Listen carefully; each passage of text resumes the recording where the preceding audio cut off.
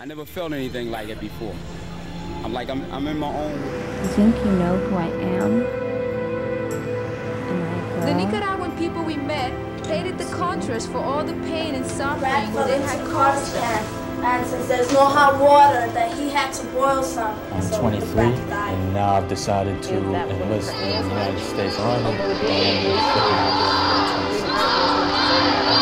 We stay here, he's not gonna make it. The people make it vital. God ain't made no fool here. This is a strong black woman. So then for a hell of a fight.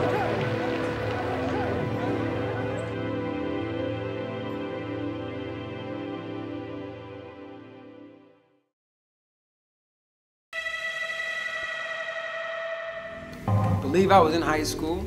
I was walking home from football practice after school with a couple of my friends.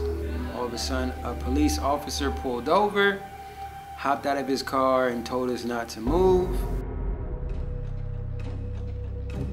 and I guess I was walking too fast for the police officers and they tried to look in my bags. At first I kind of denied them because I know my rights. Eventually I just gave in and I let them look in my bags and they realized it was just clothes.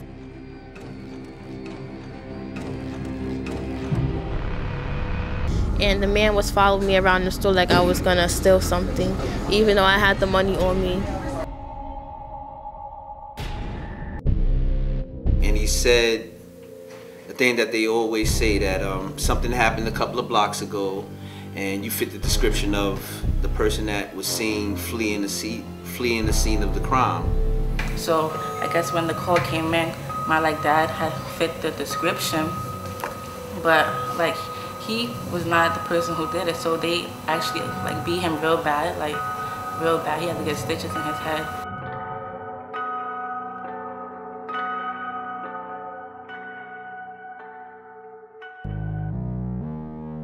Racial profiling refers to targeting individual for suspicion of crime based on the individual's race, ethnicity, or religion.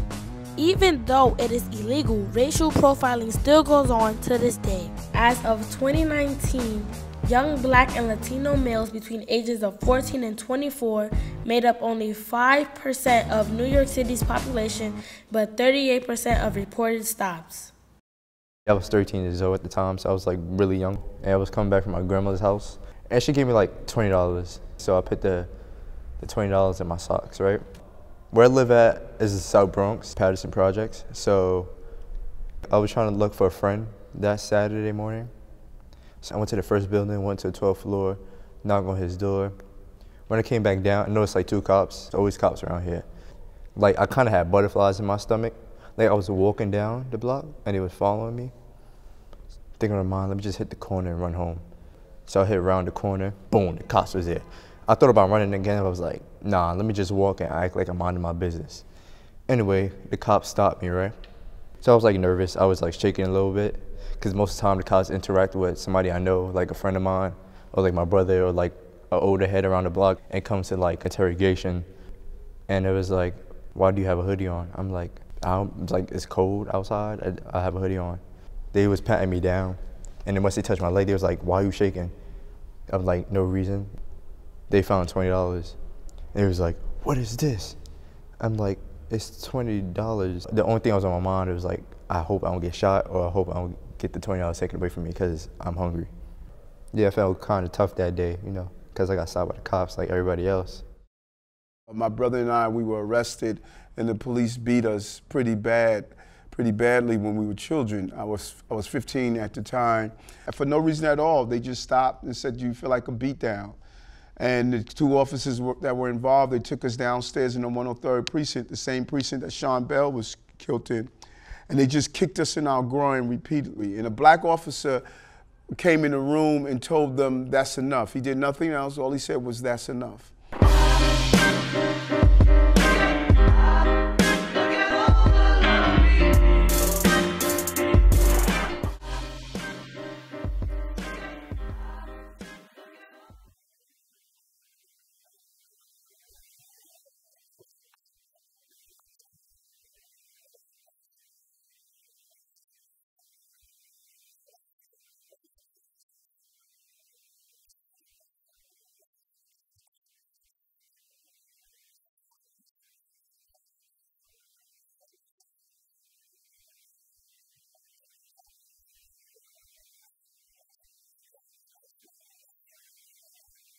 I stopped dressing a certain way.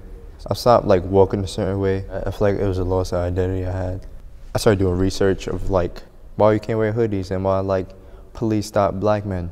And I was just looking at mad posts about like police brutality. I seen Rodney King. I seen yeah Trayvon Martin. It comes to a point like doing all this research, I kind of got like scared of the world. The world seemed like a dark place. The history of America is deeply intertwined with the violence of racial oppression, where the first form of policing was slave patrols to chase down and apprehend or return runaway slaves to their owners. This organized group of Caucasian men enforced the pass system, which required slaves absent from their master's property to have a pass or ticket. One can help but make the connection between the pass system of the 1700s and today, when people of color are continuously stopped and questioned whenever they are outside of the neighborhoods in which they stereotypically reside after the abolition of slavery were black codes designed to target them for unjust arrests. Arrested convicts were then forced to work at private corporations. While police officers are no longer straddling horses and carrying whips and chains, they are still arresting people of color for unjust reasons. We need policemen like us, like from our community.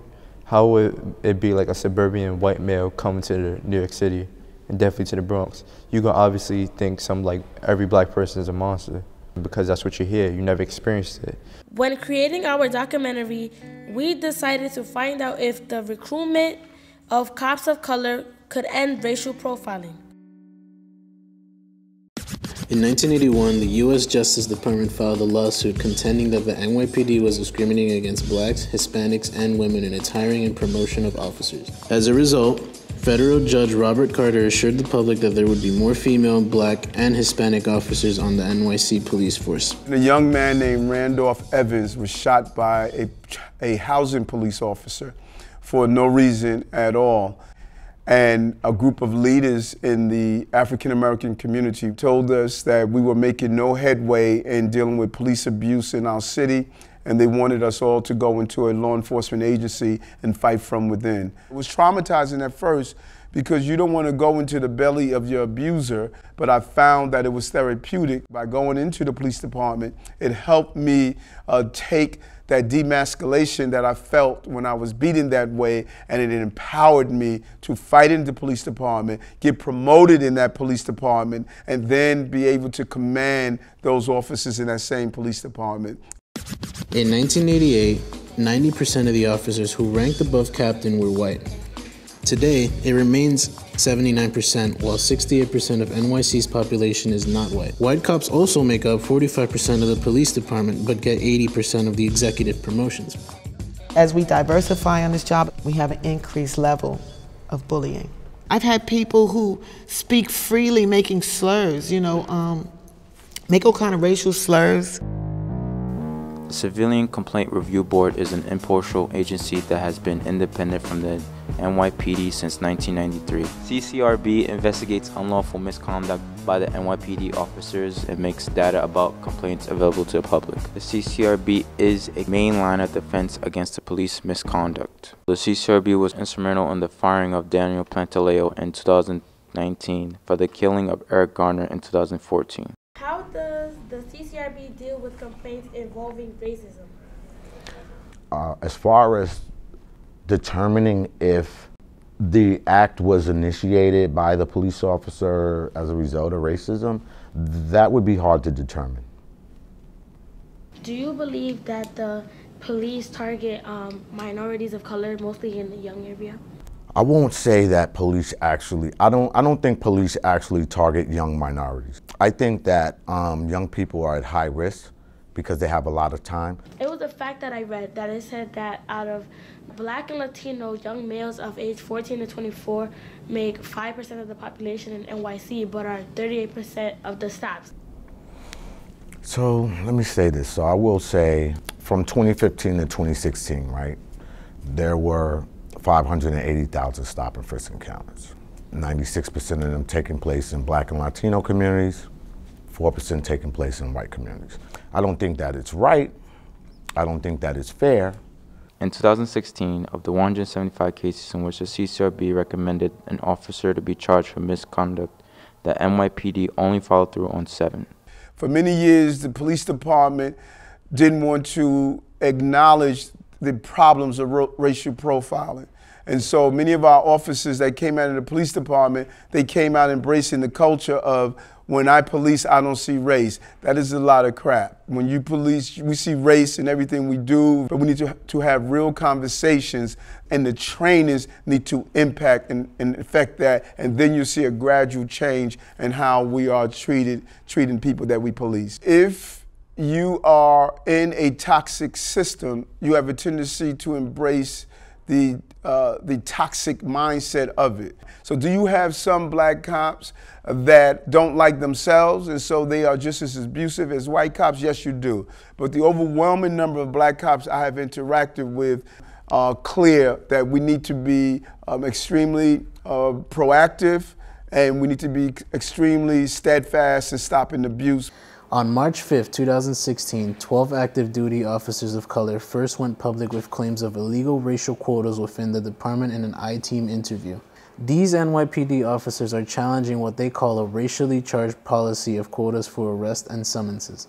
But whistleblowers can make a change from the inside of a system by exposing schemes that go against the book. As we were producing this documentary, several officers made sworn statements that they were told by commanders that while policing, the subway to target blacks and Latinos, and that's whites and Asians should be left alone.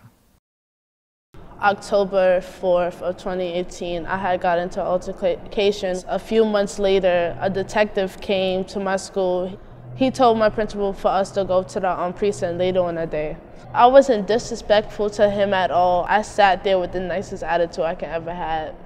And he just kept yelling at me. I was scared honestly. Dude, I felt like if I one thing would have slipped and it was disrespectful, he would have tried to lock me up right then and there. And ever since then, I guess being a cop was one of my passions.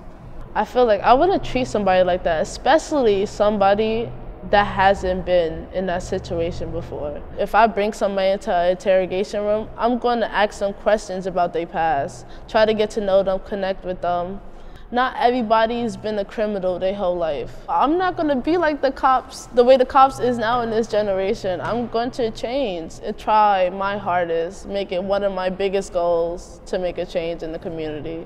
I think change starts with us really taking control of how we want policing to be in our community. That's number one, going inside, or number two, starting your own organizations or entities uh, that will describe what policing should look like